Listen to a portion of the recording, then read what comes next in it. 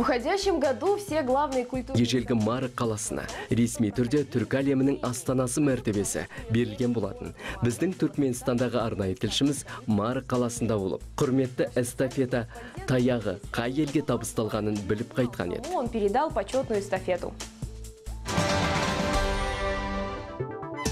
Мары қаласы түркі әлемінің мәдени астанасы болып 2015 жылғы қаңтарда жарияланды. Ежелгі қаланы астана мәртебесіне түркі мәдениетінің халықаралық ұйымы Түрксой ұсынған болатын. Ұйым 2015 жылы Мары қаласында өткізілген барлық іс-шараларға бастамашы болды. Мы воочию убедились, что в течение этого года были проведены разнообразные мероприятия. Жыл бойына әртүрлі іс-шараларды өткізгенін көзімізбен көрдік. Қала да өзгеріп кеткен. Бұл Мары қаласының мәдени байланысын басқа қалалармен бірге дамытуға үлкен мүмкіндік берді.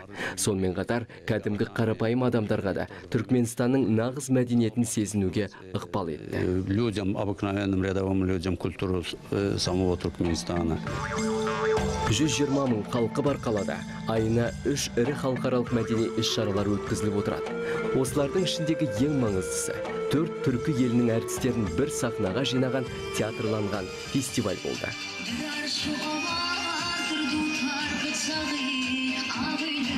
Қараша айының соңында Мары қаласы Астана мәртебесімен қоштасты.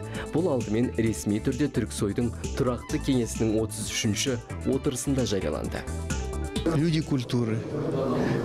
Мәдениет саласындағы адамдар әлемдегі бейбітшілікті ойлайтын адамдар. Олар бір-бірімен кездесіп тұруы тиіс, бірге жұмыс істеуі қажет. Мұның барлығы дүние жүзінде болып жатқан қақтығыстарға нақты қарсы жауап болады. Тому что сегодня в мире происходит.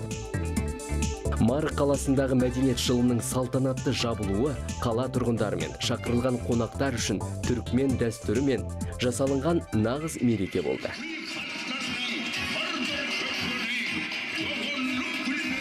Үлкен алаңға түрікмен кілемдері жайылған этно ауыл орналасқан.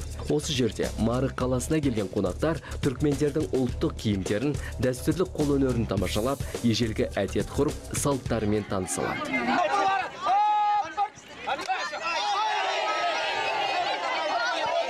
Мары қаласының әкімшілік округінде арнайы жабылу салтанатының құрметіне арнап түркменнің ақ киіз үйі салынған. Киіз үйдің сырт келбеті түркмендердің дәстүрлі сәулет өнерімен жасалынған. Ал ішінде 4000 адамдық амфитеатр бар. Мерекелік концертте Түркменстанның мәдениет қайраткерлері өнер көрсетті.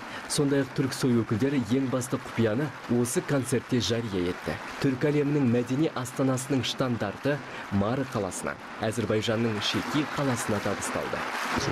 Халықаралық форумдар мен халықаралық музыкалық фестивальдар өткізу жағынан біздің тәжірибеміз мол. Өйткені біздің елде халықаралық ұйымдармен бірлескен мәдени іс-шаралар көп өткізіледі.